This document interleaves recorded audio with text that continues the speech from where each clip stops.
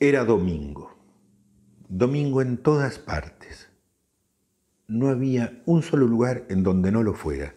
De aquí a la China, la Luna, Japón, de ida y vuelta. El mundo estaba envuelto, aplastado, triturado por el maldito domingo a la tarde. Sentados en la vereda, Linco y Frin con Negrito echado a su lado.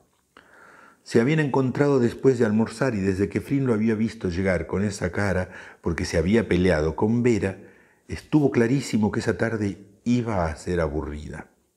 Los papás de Flynn les pidieron, chicos, no hagan ruido porque vamos a dormir la siesta.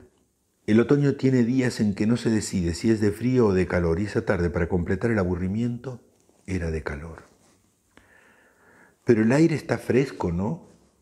comentó Lynn rascándole la panza Negrito. ¿Qué? Digo, el sol calienta, pero el aire es fresco, ¿no? Ah, sí. Acá la sombra está fresquito.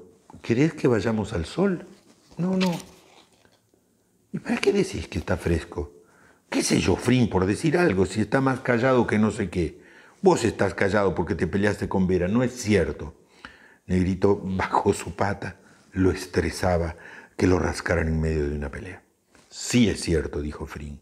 No es cierto, dijo Lincoln. Bueno, no es cierto. Enmudecieron mirando hacia distintos lados. Negrito subió su pata. Pasó un señor en su bicicleta, pasó el tiempo, pasó viento, no pasó nada. Frin tomó una piedrita que vio cerca de su pie y la arrojó en mitad de la vereda. Luego tomó otra, pero no le acertó a la primera piedrita. ¡Qué ves! Bestia, Frin, dijo Linco, qué bestia. Era más difícil errarle que pegarle. Ay, pues sí, Guillermo Tell. ¿Quieres que pruebe yo? No era fácil. ¿Pruebo yo? No. ¿Cómo que no? ¿No querés que pruebe a ver si le pego? Negrito bajó la pata por el estrés nuevamente.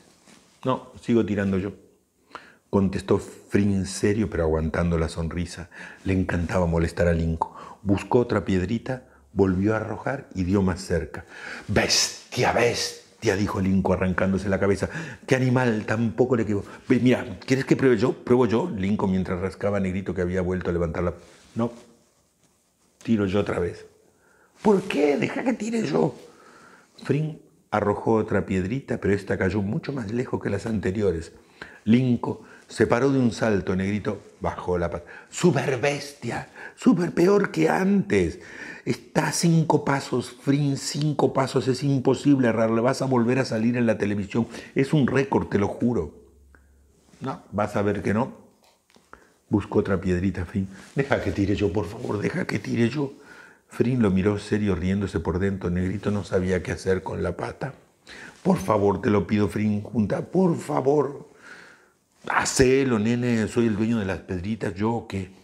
Linco juntó varias pedritas, volvió a sentarse en su lugar, entrecerró los ojos para apuntar, estiró la mano hacia adelante, calculó, la regresó, volvió a estirar, apuntó. Cuando tomó impulso para lanzar la frin, aparentemente distraído, comentó, es una sola piedrita, ¿eh? Que juntaste varias piedritas y es de tirar de a una. Sí va a tirar de a una. Juntaste varias.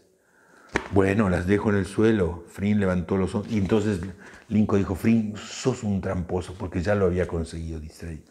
Y ahí siguieron esa aburridísima tarde de otoño hasta que decidieron que el desafío de las piedritas no era suficiente desafío y mejor subían al techo de la casa a tirar piedritas no, a acertarle a las piedritas con escupidas.